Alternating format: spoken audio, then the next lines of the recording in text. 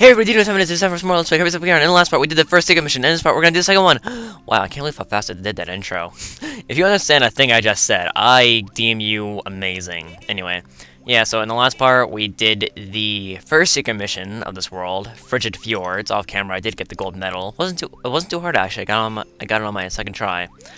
And in this part, we're going to do a very cool level, Evergreen Lift. Now, this level is pretty cool. I do like its design a lot, although it's really difficult, which is pretty... I guess it's good that they're making it more difficult as we are getting further in the game. So the gimmick here is that you need to keep rolling that to make this platform go up, so that we can proceed further into the level. And the whole time, you know, you have these Waddle Dees falling on you, you have a limited time to get all these beads, because the platform's moving. Yeah, it's kind of...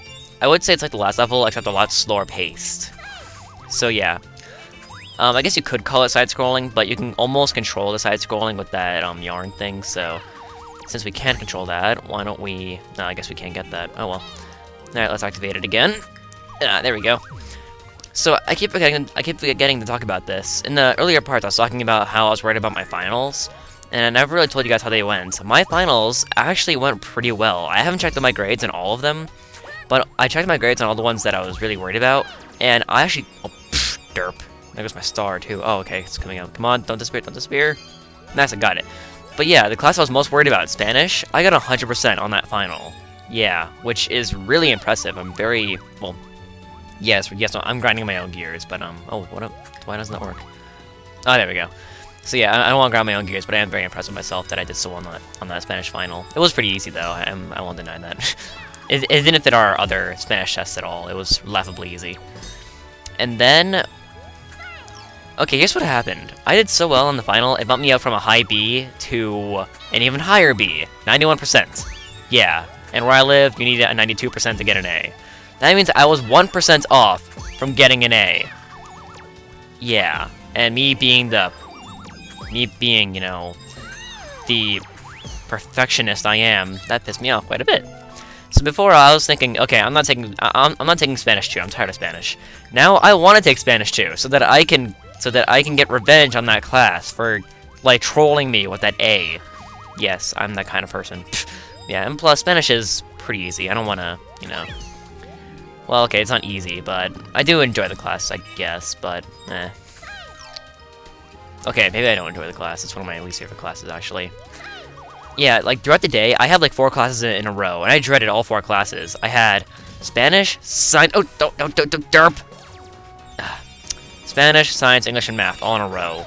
And then I had my, and then I had, I, had my electives at the end of the, end of the day. So yeah, that was really annoying. You know, gee, like, you know, the one thing that, you could throw in here, the one thing they just had to throw in here, these little snowballs. And yeah, they have cannons here that fire snowballs at you, that freeze you. Yeah, God, I hate this level so much. Why, why did I say I like it? Yeah, it, it, does get pretty obnoxious in this level with all the uh, obstructions with these snowballs and the enemies, and yeah. Oh well, I'll still make it through. Ooh, um, oh, I, no! Derp, no! Oh, that worked out pretty well. Alright, so you guys, the snowball broke that for me. Alright, that worked out really well. A star wreath. Oh yeah, that's what wreath is. I, I can't remember, I, I, can't remember what, what that was, like the word for it. I guess it's reed, or wreath. Yeah, I remember one year we put a wreath out on our door, and somebody went down the hallway, because well, we, we lived in, in an apartment building, and somebody went down the hallway, grabbed all the wreaths, and just randomly threw them out into the backyard of the apartment building. Yeah, I don't know what would drive somebody to do that, but well, probably just some drunk teenagers. Because that seems to be the answer to everything these days. Drunk teenagers. Or high teenagers. Same thing. Anyway, um. Derp! Wait, can I get both of these beads? Come on! Yeah. Oh god, I'm getting OCD with all this stuff going on. oh, I want that. Yes. Okay. Yeah, I'm doing pretty good on beads too. I might actually get this on my first try. Yep, I did. Alright, awesome. I really didn't think I'd get that on my first try. This is definitely one of the hard levels in the game. Oh, and we're at the end. Alright, so let's make it up here. So yeah, this level is pretty cool. I, I, I still like it. I haven't lost any respect for it by doing this. And it also didn't take that long. I thought this was going to take a really long time, which is why I didn't do it in the last episode. Oh, yeah! Wow, okay. so yeah, that went over pretty well. We're five minutes in, and that gives me time to start the next world, Spaceland. And these next two worlds are the last two worlds, for one. And also, I love these next two worlds. Now, the first one is Spaceland, and then the second one I'm not gonna say because it's a spoiler. But Spaceland is awesome. Like, the kind of puzzles they have to go through, and then the, the landscape, it's just awesome. Although, it's, it's expected that it's really difficult. So there'll be a lot of me missing treasures and having to go back for it, or a lot of me getting the, or not getting the gold medal and the beads. So yeah, let's see how I do here in these six levels. First one is Future City. Oh, I remember this one. If I remember correctly, the gimmick here is that you were on this futuristic roller coaster kind of thing. Let's see. Because I haven't, I, I, haven't done a practice run of this level yet. Yeah, I know. Um, oh, this seems pretty cool actually. All right, let's let's head down. Oh, oh, okay, so I guess we're heading up. Same thing. And is that Star Fox music? Okay, kind of sounds like Star Fox music. Alright, and let's get all these. Ew, yeah, you don't want to follow the track, because then you'll die. Yeah. Yeah, there is no landing below you, it's just, it's just death. Although, if you do fall off and land on a platform, this thing does just um, respawn, so you can just wait for it to come again. Trying to get all the beads, or most of the beads at least, and you want to grab onto- No! Okay, I really wanted to get that thing up there, but okay. Hopefully there wasn't a treasure up there. Uh, what's here? Oh, just another... Oh, wait. I'm confused. Alright, let's see what's up here. Um, I'm a little I'm a little unfamiliar with this world. Oh, this is pretty cool. Like platforms that go back and forth. So yeah, this world does introduce some pretty cool mechanics though, like these, well, these conveyor belts were, were already around, but they had some twists on them. And oh, look at the cute little UFO enemy dude, Let's kill it. Gee, it's so cute when he dies. Alright, um, oh, I guess we need to... Alright, good, that worked. I also, I always think it's kind of weird when the game makes you do that kind of thing. Oh, and then these electrical thingies, you can snap them shut so that they don't hurt you. Which is, once again, pretty cool mechanic. Pretty creative. Because creativity in this game is very new. Yeah, th th this game normally isn't creative at all. Nah, not at all. Anyway. Oh yeah, so um, today Chugga posted his first episode of Pikmin 2. From the first episode, it's looking pretty good. Um, of course, I've always a big Chugga con right there, in case that wasn't obvious enough. Um, I want to get in there. And oh, derp! Ah, game. Like I said, Spaceland is a jerk. Okay, let's see if I can get in here. And nice. Alright, at least I didn't miss a eh, at least I didn't miss that treasure. Okay, first one. Anyway. What the? Ugh! Getting a little aggravated. Oh, what's up here? Oh, just a swing. Whee! I still love the mechanic. I don't know why. It's so simple, yet I love it for some reason. Nah, whatever. Let's make it through here, and... Hello? Oh, I guess if you jump, it... Oh, okay, just wait. Distribution. Oh. I guess we need to wait for it. Oh, or that. I, I wonder if that would actually work. Uh, like, if you were on this, this kind of platform set, like, I wonder if, like, jumping would actually do anything. I don't know. I don't take any kind of physics class. Oh. Okay, this is good. This is a little tricky. Uh, there we go. And then... Nice, we made it. Although there does seem to be something over there. Oh, that's it.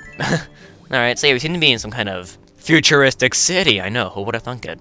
I totally that, that that's totally not the title of this mission. Nah, you're crazy. Alright, let's head up. Okay, I keep I keep thinking we're gonna go down. I don't know why. Alright, and Oh, okay. Oh, new power up. Oh no, no, not again!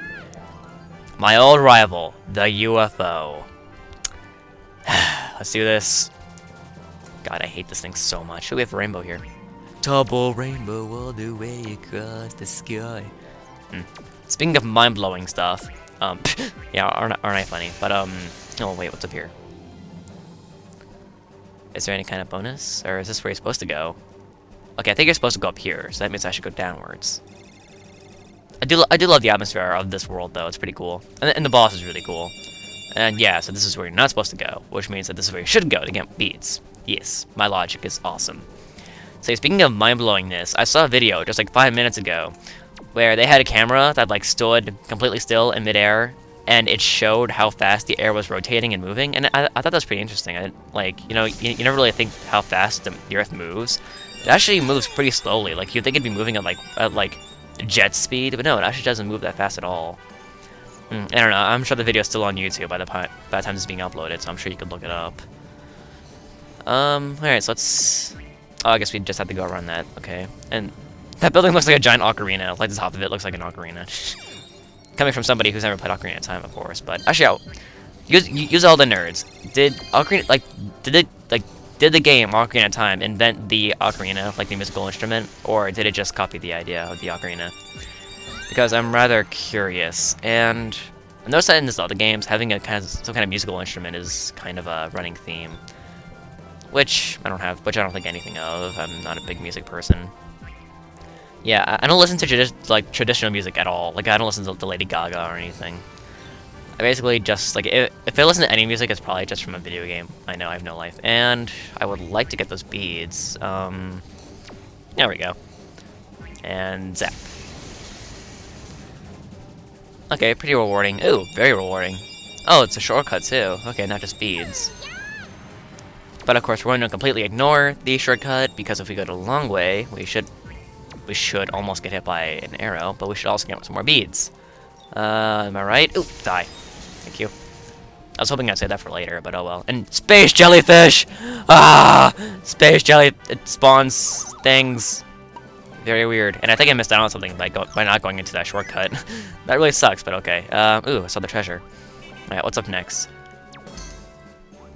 You know, I, wonder if these things like can swing more, or did they just kind of... Oh, okay, if you ground pound on them, they move a little bit more, it seems. Nah, I can't tell. Oh well, not the biggest mechanic in the game anyway. Let's pull on these. And... Oh, this isn't safe at all, is it? um, okay, let's... What the... I, like, ran off of that. Anyway, um... What's up here? Oh, okay, it's, it's, it's one of those string things, okay. Oh! Ah, derp. Oh wait, no, I want to I want to get this out to stars. Um, don't disappear, don't disappear. What did I just tell you not to do? There goes my beads.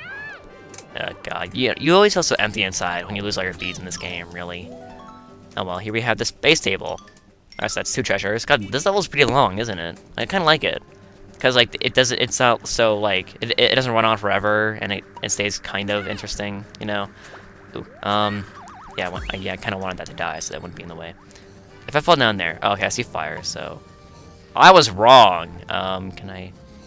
Yeah, I thought since I saw the fire geyser, you know, there'd be some land there. But obviously not. Um, I wonder if there's any way I can get to that.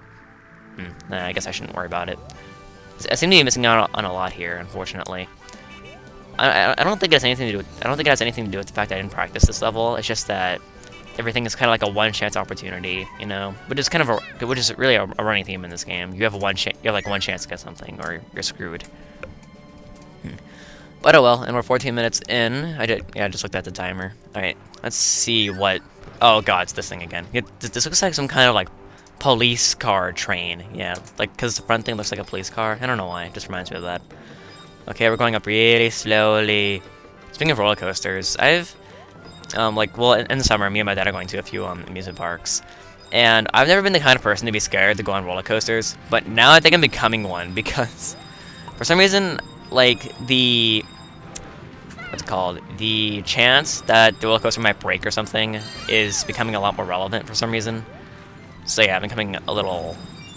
Maybe not scared, but more... Um, what's the word? More gingered about it. Okay, we're gonna say ginger. Because for me, when you can't think of a word, just say ginger. Oh! Oh, I missed a treasure. Oh, I missed. So yeah, I'm definitely gonna have to redo, redo this level. Oh god, that was just... That, that was a terrible run, wasn't it? Mm, oh well. So yeah, like I said, there's gonna be a lot of me having to replay levels. You should have expected it. Alright, so really quickly, well first we're gonna use the patch, and then I'm gonna run back through and get that last treasure. Hopefully I don't fail. And yeah, that, that that's another instance where you, where you had one chance to get it, and now after that you're pretty much screwed. Which is something I really don't like about this game. Like, I, I wish this game had, like, checkpoints, which... Well, yeah, this game can have checkpoints, because you can't die. So, yeah. So, I guess not being able to die is kind of a bad thing. Anyway, we have an outlet here. And what's it gonna do? It's gonna plug in the giant TV in the sky. And wait, what's the level called? Tube Town. Okay, I think it would be a little more relevant to being inside a freaking TV, but... Oh, wait, maybe it's like YouTube. Because it's like YouTube Town. Uh, Bernie. Okay, I got it. Okay, for a second it looked like I was gonna miss that ladder, but luckily I did not. And as you can see, my bead count is very mediocre. Yeah, I'm gonna have to redo this level again off camera to get that. Yeah, I died twice in a row, like at the very end of the level. I was really angry. yeah, so I'm gonna have to redo that off camera, probably at the end of this world. You know, but once again, I'm not gonna show you guys, just me going to the same level again. I showed you where most of the hidden beads are, so, you know. Alright, so next time on Let's Play Kirby's Epic Yarn, we are going to do the next two missions of this world, Spaceland. How many we do depends on how long it takes. As usual, I'll see you guys later, and remember, prolonged endings are awesome!